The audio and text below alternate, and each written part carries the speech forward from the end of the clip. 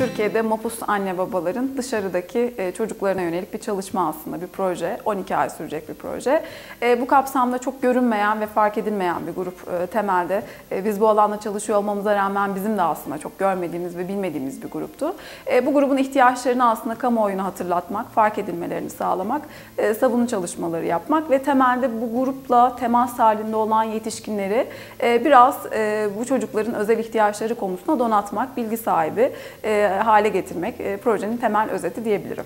Kurum ziyaretlerimiz olacak. E, özellikle mapus anneler ve babalar olmak üzere e, eğitimlerimiz olacak. İçeriden annelik, içeriden babalık aslında nasıldır, ne tür zorluklar yaşanıyor. E, bunlarla ilgili e, uzmanlarımız, daha ağırlıklı psikologlarımız e, mapus anne ve babalarla bir araya gelecekler.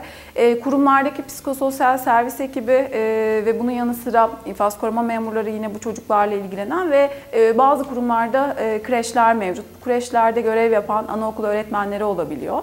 E, bu personelden oluşan bir gruba da yine aynı şekilde bu grupla nasıl çalışılması gerekiyor? Dışarıda olma halini e, ve annenin babanın içeride olma halini çocuğa nasıl aktarmak gerekiyor? Bu ayrılık sürecini e, çocuğu kırmadan, örselemeden nasıl yansıtmak gerekiyor? Bunlarla ilgili eğitimlerimiz olacak ve e, dışarıda da aslında projenin en önemli kısmı zaten o. Öğretmenler ve rehberlik biriminde çalışan yine rehber öğretmenler e, bu konuyla ilgili e, eğitimler alacaklar. Temelde aslında biz şunu hedefliyoruz. Bu proje sonunda kamuoyu, e, özellikle bu alanda çalışan, çocuk hakları alanında, çocuk alanında çalışan sivil toplum örgütleri, e, akademisyenler, uzmanlar bu grup tanısınlar ve bilsinler. Böyle bir grubun var olduğundan öncelikle haberdar olsunlar ve kendi çalışma alanlarına belki de e, bu gruba özel çalışmaları dahil edebilsinler. En temel amacımız bu. Bir de Avrupa kısmı var projemizin aslında. O da önemli bir kısım.